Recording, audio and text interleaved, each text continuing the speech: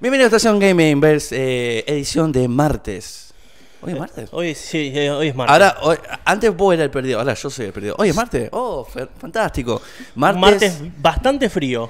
Eso es lo que iba a decir, bastante frío. Sí, sí, sí, sí. Martes ve- 27 de julio, ya estamos en agosto. Ya estamos, ya estamos, ya queda nada para terminar el año. Ya estamos en agosto. Bueno, queda un poquitito, pero.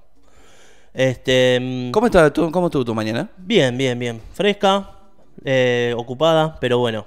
Siempre hay espacio para Estación Gaming. Sí. Así que bueno. Y como la tradición lo amerita, según los textos antiguos, la primera sección es de informática de Guille. ¿Qué nos has traído, chico? Bueno, eh, voy a hablar un poquito ahora de lo que mm, este, tenemos a Windows 11 en el horizonte ahí. Ajá. Este, y bueno, em, para hablar un poquito lo que había pasado con Windows, que obviamente decía que se iban a necesitar dos tecnologías para poder actualizar, que una es el TPM, que es el Trusted Platform Module, Lo hablamos, sí, me Sí, acuerdo. y la otra es el Secure Boot, que bueno, em, supuestamente los microprocesadores y computadoras compatibles con este tipo de tecnologías eh, necesarias para actualizar Windows 11 Sí. eh, están dentro de la octava generación de Intel o la última generación de Ryzen, o sea, a partir de la generación 1 de Ryzen. Entonces, ¿qué pasa con toda la gente que tiene computadoras anteriores? Que acá es muchísimo.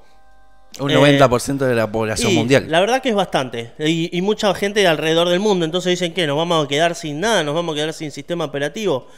Bueno, hay un par de cosas que se pueden hacer para solucionar Windows, pero en el caso de que no te interese tanto Windows, también podés irte a un compañero que está avanzando muchísimo en el camino, que es Linux.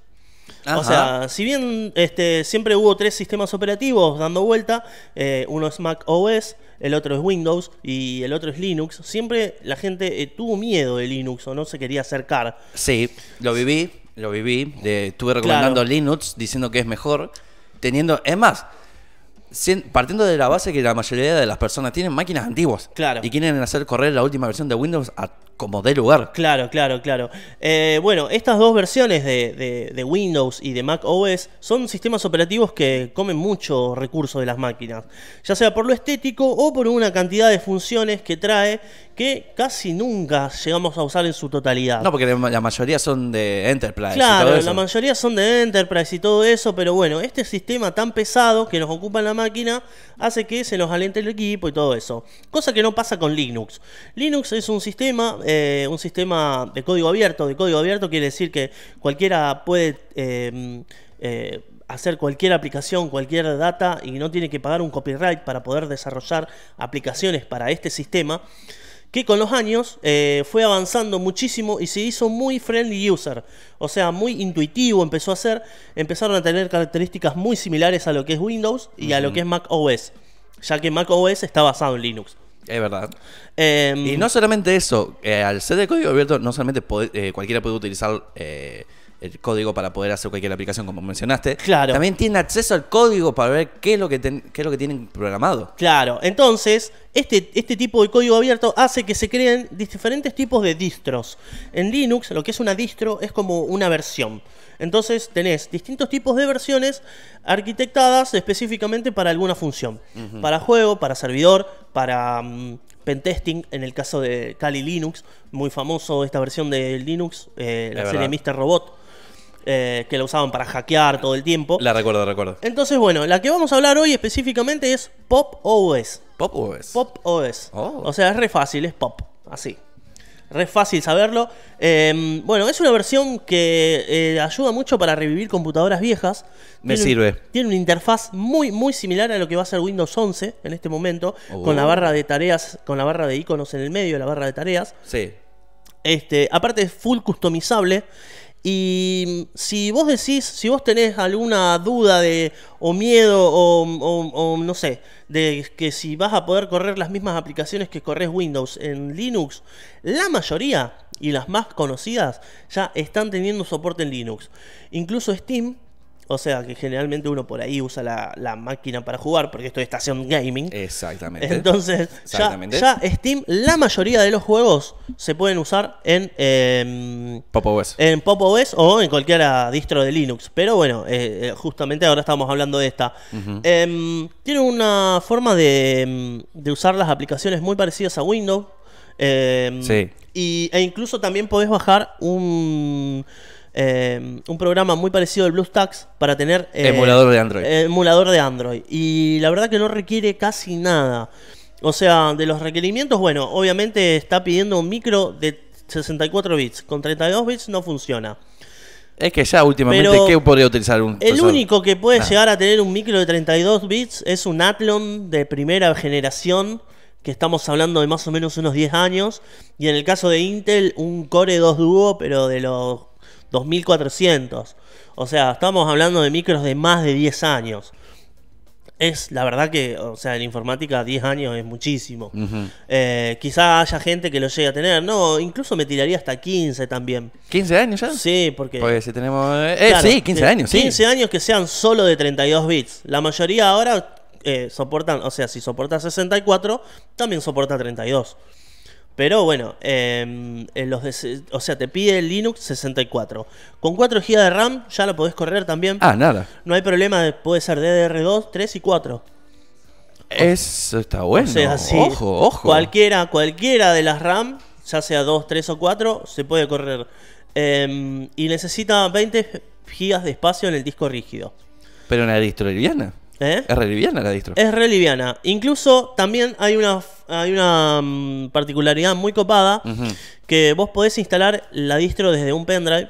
Y si tenés un pendrive verdad. de 64 bits, podés configurar el pendrive que se llama unidad persistente y usás el mismo sistema operativo desde el pendrive. No necesariamente tenés que instalarlo. Obviamente. De una forma portable. Claro, obviamente que si lo instalás vas a tener muchísimas, o sea, va a ser un poco más rápido, eh, vas a poder instalar más aplicaciones. Y Porque no, no, no, no, no estás corriendo la compu en sí. Estás, Claro. estás haciendo que un, pen, que un pendrive, Sí. una unidad móvil, esté corriendo un sistema operativo. esté corriendo un sistema operativo, que es algo que parece, no sé, de ciencia ficción. Pero corre el sistema operativo y todas las modificaciones que vos hagas y todos los archivos que bajes y todas las actualizaciones que hagas van a quedar guardadas. Bien. Porque es un, eh, una flash drive persistente. Se puede grabar de dos formas. Pop OS se baja muy fácil. Se met- te metes en la página de Pop OS. Eh, podés bajar la ISO para lo- las personas que son un poco más experimentadas.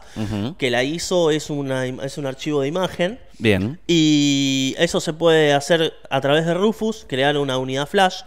O si no, desde Pop OS tenés este, First Time o, o tutoriales que bajás una aplicación que ellos te dan y en el momento, o sea, empezás- la buteas en el pendrive. Claro, es como un es como un Windows Anytime Upgrade, o sea, es como un, un Media Creation Tool, una unidad de creación de medios. Lo tengo tan, tan, tan, tan empolvado al Rufus, porque como Sí. estoy instalando últimamente Windows 10 en mi compu, cada vez que digo, Claro. bueno, le voy a pegar una reboteada, le voy a pegar una formateada porque está, está lenta. Claro. Y siempre utilizo el Media Creation Tool, ya directamente Claro, no necesito claro. usar el Rufus. No, no, no, obvio. Aparte, con, el, con la unidad de creación de medios, te asegurás de que siempre eh, instales la versión más nueva en el dispositivo. Ah, bien, porque Claro. solamente cuando bajas la ISO, la ISO y la no ISO, está tan actualizada. No, la digamos. ISO no está siempre tan actualizada, pero con la creación de medios sí. Después, obviamente, o sea, es Linux. O, em, tenés dos versiones porque hay un problemita con, los, con las placas Nvidia. Así que eso todavía se está solucionando. Y tenés la versión de AMD y la versión de las plaquitas de Nvidia. Eso con el Pop OS. Después es todo casi intuitivo y muy parecido a lo que se instala con Windows. ¿Y las integradas Master Race? Y las integradas Master Race funcionan. Funcionan bastante bien. No como deberían, pero No bien. funcionan al 100%, pero bueno, estamos hablando de que estamos usando Linux. O Es ver- sí, sea, es eh, es algo bastante nuevo y todos los, eh, todos los arreglos y todas las cosas nuevas que van saliendo lo va haciendo la misma gente. No cuentan con un equipo de profesionales y de ingenieros como cuenta eh, Microsoft o mm, Apple en este caso. Claro. Igual lo bueno de Linux es que no vas a tener virus. Eh, las, todas, las, todas las aplicaciones y todo lo que bajes está doblemente chequeado con el MD5, que es un Es un protocolo de encriptación de data que chequea los archivos eh, en el momento que salen hasta el momento que llegan a tu computadora. Y bueno, si fueron modificados por malware o por algún virus o por algo dañino, eh, ese MD5 se modifica. Entonces, este, es un doble de seguridad. Tiene otra seguridad mm, eh, mucho mayor que lo que es Windows. Eh, y aparte el tema de las actualizaciones es también automático. Y incluso después, bueno, también tenés... El para- soporte, Sí, para usuarios un poquito más avanzados, obviamente que Linux es eh, casi no tiene límites en lo que podés hacer.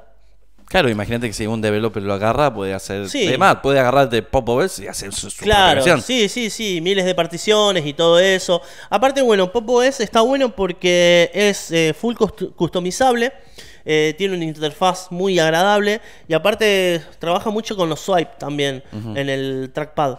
Entonces vos... Oh, con los gestos. Claro, vos ponele con, con cuatro dedos, eh, em, movés para la derecha y se te abre una aplicación, movés para la izquierda, vas a, aplica vas a todas las otras aplicaciones. O por lo menos en mi notebook, yo con el trackpad uso los dos dedos y ya escroleo la página. Claro, claro. Bueno, esa, esa es la clásica. Pero incluso acá tiene hasta 17 gestos. 17 gestos. Sí, que vos podés hacer en tu notebook y haces 17 funciones diferentes dentro del sistema operativo.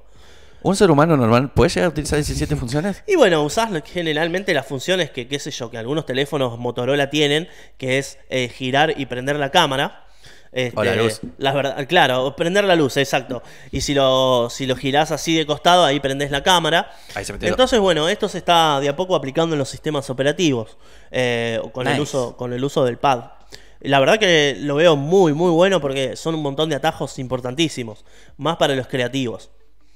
Wow. Y, mm, e incluso, bueno, eh, la PC te va a rendir mucho más. Nosotros este, acá en la radio tenemos un usuario de Linux que está bastante contento porque Sí. revivió, revivió varias computadoras viejas gracias a este sistema operativo.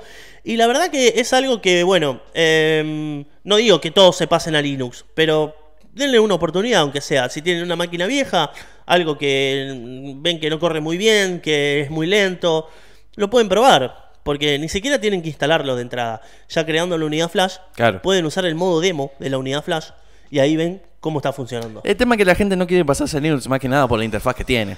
Es que Tiene una interfaz. y ¿Se va, a ver, Claro. ¿Se va a ver igual a Windows? Y no, madre. No es claro, Windows. es que eh, no es, eh, por ahí uno dice, no, pero yo estoy acostumbrado a esto, yo estoy, ¿cómo voy a hacer con...? Tampoco es tan difícil. Eh, es algo bastante intuitivo, está lleno de tutoriales, pero tutoriales de los de lo- los que realmente te enseñan algo. No, ese tutorial que vos haces una pregunta y son 15 minutos, no. Tutorial de eh, quiero instalar tal cosa, ¿cómo lo hago? Un minuto 30 y te explica cómo instalar eso. Bueno, vamos a. Y se te corta el video. Claro, sí. Este, está lleno de tutoriales súper fáciles de entender en todos los idiomas. Así que la verdad que, qué sé yo, yo lo estuve instalando en varias computadoras. Cuatro, per- perdón, Guille. 4 GB de RAM. ¿Recomendados o mínimo? Mínimo, mínimo. 4 GB de RAM, mínimo. Mínimo. Obviamente que después, o sea, la cantidad de aplicaciones que vos abras o el tipo de uso que vos le vayas a dar va a requerir más o menos No, no, no, obviamente, pero por lo menos para correrlo y que no tenga ningún problema. claro, mínimo 4 como, GB. Como mínimo, sí. Pero lo que vamos hoy, si vos usás 4 GB mínimo en Windows, eh, abrís el Chrome y abrís tres pestañas y ya incendio. Mira, me agarraste la curiosidad. Tengo un disco por ahí tirado de 160 GB. Creo que dijiste que tenía por lo menos 20, 20 GB mínimo para Por el lo espacio. menos 20 GB mínimos es lo que te es lo que se recomienda para poder tener un uso y probarlo. Ahora, bueno, obviamente que si empezás a guardar archivos y eso vas a necesitar un disco No, no, no. obviamente para un uso normal tampoco hay que. Claro. Imagínate uno que se baja Pop OS para renderizar algo en el Adobe Premiere. Claro. mal. No, no, pero aparte hay muchas computadoras por ahí que vienen con, eh, con el disco integrado, como las Cloudbook y esas, Es verdad. que han quedado viejas y son medias obsoletas. Es verdad. Entonces esas máquinas, que generalmente también tienen un micro un poquitito chico, eh, quizás con esta distro de Windows, eh, con esta distro de Linux, eh, pueden funcionar muy bien y volverlas a la vida. Es verdad. Aunque sea para un uso de internet, conectarle a un HDMI y poder ver Netflix o películas desde la compu. Una especie de servidor multimedia. Claro. Bien, me agrada. Pero para juegos. Para juegos se ha probado y anda, funciona muy bien. ¿Le puedo correr el Battlefield 2042? Eh, sí, sí, sí, sí. O sea, hay los- todos los juegos de Steam que, mm, Eh, la mayoría están todos probados eh, en, en esta distro y andan muy bien. Obviamente tienen un poquito menos de rendimiento. eh, porque bueno, es el tema de las em, de la ingeniería que hay en los drivers de las placas. Pero con el tiempo se va solucionando. O sea, la misma placa va teniendo nuevas actualizaciones Claro. y va rindiendo un poquito más. Bien, Lo único que no se pueden jugar son los juegos que funcionan con anti-cheat. Porque el anti-cheat Ah, en Linux no. trae problemas. Sí. El anti-cheat en Linux trae problemas porque va en contra de algunas eh, de algunas subrutinas de programación. Claro. Entonces crea conflicto y no se puede jugar en multiplayer, pero sí se puede jugar en single player. En single player, ¿voy a decir? Estamos, sí, estamos hablando del PUBG y del CSGO y no me acuerdo cuál otro usa. Mira, como funciona, es, es- si funciona así es el anti-cheat de CSGO, para mí no va a haber ningún problema porque directamente ni funciona. Claro. Bueno, últimamente está remontando, pero últimamente ni funciona. Pero ya que ah, me, acordé justo, viste que te dije Battlefield. Sí. Me enteré de una noticia, yo digo, "Ah, un crossover de Valve con, con DICE, no lo puedo creer, porque leí Battlefield Portal, no es un crossover, ¿verdad? No, Battlefield Portal no. No, en realidad lo que significa de Battlefield Portal es como que hay un portal al pasado. ¿Cómo? Un portal al pasado, sí. El- el- todos, los, todos los mapas y los soldados de Battlefield 1942, Battlefield 2 y Battlefield 3 se van a poder jugar con Battlefield 4. Es como vas a tener un soldado súper, súper futurista y uno que va con una bayoneta. Para hacerse... Para, para, para, para. Primero, primero me largan este jueguito nuevo, Sí. que no un jueguito cualquiera. Es En el que se van a poder jugar partidas de 64 contra 64. ah, no solamente, primero que nada, eso, perfecto. Primero me dicen que va a haber 128 jugadores en un solo mapa. Sí. Ahora me está diciendo que va, va a poder jugarse con cualquier eh, ejército o, armamento de cualquier Va a tener época. todas las armas, todos los soldados y todos los mapas de los juegos anteriores de Battlefield. Pero yo me hago un... Va, no, no speedrun, sino la... Ese, ese tipo de series de videojuegos que, qué sé yo, eh, por ejemplo, paso del GTA San Andreas utilizando solo la pistola. Claro. Yo me haría una serie así Sí, nomás. igual, igual no sé, me parece que es un modo de juego. Me parece, o sea, salió un tráiler, no explica mucho cómo es. Me parece que es un modo de juego eh, si va a ser solo multiplayer. Ah, o sea, estaría parecía. bueno, estaría buen, estaría buenísimo que tuviera campaña. No sería, pero- no sería medio, bueno, ya de lógica, eh, alguien que tenga dos neuronas de frente, Claro. aunque sea una, sabe perfectamente que eso va a ser muy injusto. Claro. Lo agarras con un rayo. Sí, pero no, no subestimemos a los gamers porque siempre encuentran alguna forma, ¿ves? Ahí están cambiando todas las armas. Por ahí empiezan a pegar con un rifle que pega, que da calambre. Y, y vos acordate que, bueno, eh, en Battlefield 2042 es todo muy guerra, muy warfare electrónico. Y si vas con soldados de 1942 que no usan nada electrónico, es como que no podés saber en qué momento, dónde están.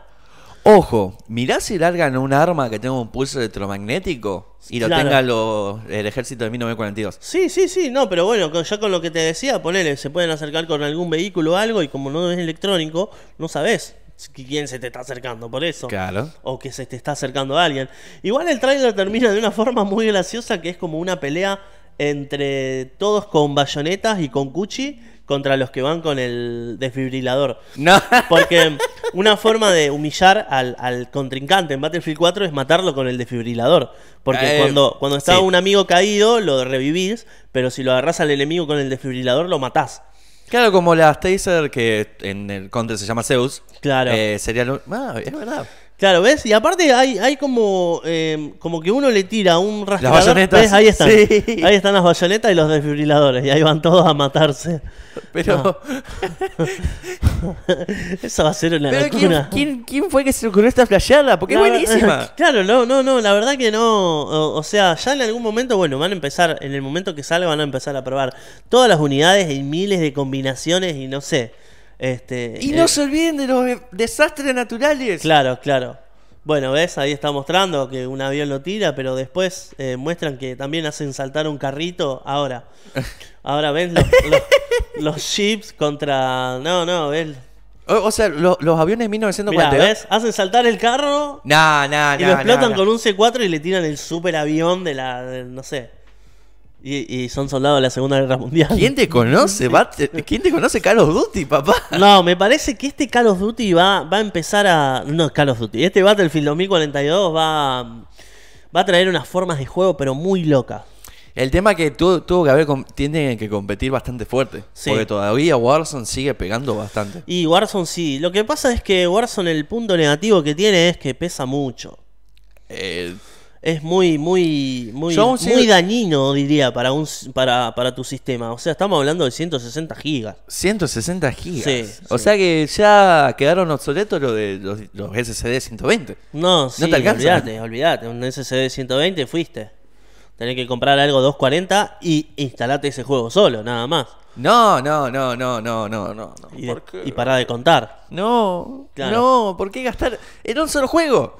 Claro, no, no, no por eso. Entonces, ¿qué pasa? Yo tengo gente, o sé de algunos conocidos que, viste, por ahí no se llegan a comprar un disco de 240, de No. 480. No. Se compran uno de 240. Y vos imagínate, te instalás ese solo juego y ya no podés instalar más nada. O alguno de 10 gigas, que no sé qué quedará. Claro, lo 10 mejor, de, lo mejor de todo que no, no. Primero que nada, nunca viene de 240 o de la capacidad que dicen, porque siempre tenés un poquito menos. Creo que Sí, siempre es un poco de... de- 220, 2. Sí, eh, de, de uno es un 10% que se, mm, se separa para, para- Memoria virtual, ¿verdad? Sí, memoria virtual, para corrección de errores y todo ese tipo de cosas. Primero que te viene menos capacidad. Sí. Empezamos por eso. Después tenés que instalar el Windows. Sí, que estamos hablando de 50 Después, gigas full todo. el instalador, que Claro. en este caso sería el de Activision. El de Activision sí que es el de Blizzard. El de Blizzard, que debe pesar cuánto, 5 GB. No, no pesa tanto, pero lo que pasa es que, o sea, lo que voy, te quedás solo con eso. Y el Call of Duty normal. Claro. Call of Duty normal, que por eso pesa tanto, porque el, el- obviamente Warzone no pesa tanto. Claro, porque necesitas ese juego de core y después tenés que instalar el Warzone encima. Claro. Igual ellos dijeron que iban a hacer un poco de arreglo, que le iban a bajar un poquito de peso, pero no, no sirve. No, y también se me ocurrió preguntarte ahora, como eh, englobando el asunto. ¿Bajarán la, ca- la ca- la clasificación? Eh, Esa- SRB. en el SRB. Porque Battlefield no es tan sangriento que digamos, porque. No, no, no. Si bien el tema de la clasificación en SRB no es, eh, no es en sí por el juego, eh, en este caso, sino por la interacción online que puede llegar a tener. Ah, es verdad, Entonces, por interacción online. claro, el ESRB es un mecanismo que se ocupa como las películas que ponen PG-18, Sí. PG-13 para mayores y edad y todo eso. En los juegos, ¿qué pasa? Eh, por ahí algunos tienen hasta dos, eh, eh, dos valores. Sí. Uno te dice en el valor en el juego online, este, para mayores de 18 puede ser, o te pone directamente que no se hacen cargo con las interacciones que tengan. Sí, Y la eso- gran mayoría. La gran mayoría porque a veces vos tenés, qué sé yo, tenés un Animal Crossing. Claro. Pero te vas a jugar con otros jugadores y te empieza, te empieza a insultar de una manera asquerosa. Claro, vos no podés, o sea, hay juegos que sí se hacen cargo de esto, eh, como por ejemplo League of Legends, creo que ya lo Eh, había sí. nombrado en algún momento. Sí, que. Y hay juegos que quizás no le importa, pero bueno, eh, eh, más que nada lo que influye de esto son las interacciones online.